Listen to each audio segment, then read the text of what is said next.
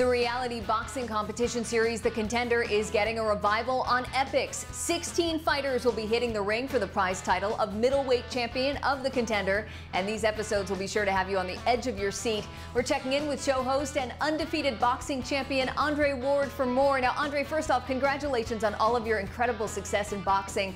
Your background makes you a perfect host for the show, but why did you want to be a part of The Contender? I've already been through what these young fighters are going through, and you know, I always had in the in the forefront of my mind that, you know, if if my career when I was active, if it was just about me winning titles and, and making money and creating a legacy for myself, and I never took the time to, you know, kind of reach back for the for the next generation, I, I felt like you know, that was a career wasted. Now, this series comes with big rewards. Talk about the format and what's at stake.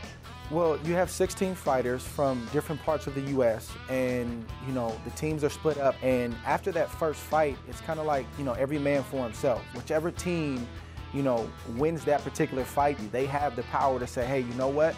We're going to have this guy step up and we want to handpick that opponent. But they also have to interact on a day-to-day basis just to see that kind of play out uh, was just it, it, was it was unbelievable. Put them in the ring and let them settle it there, and there's no manipulation. The better man will be the champion. But with your experience in the ring, what qualities do you think make for a great boxer? It's a mixed bag. You know, I don't think you can just be athletically gifted and not be mentally strong. You have to be able to check all of those boxes, and your motivation for being in the sport it has to be right. All right, thanks so much, Andre, and be sure to catch new episodes of The Contender on Epix.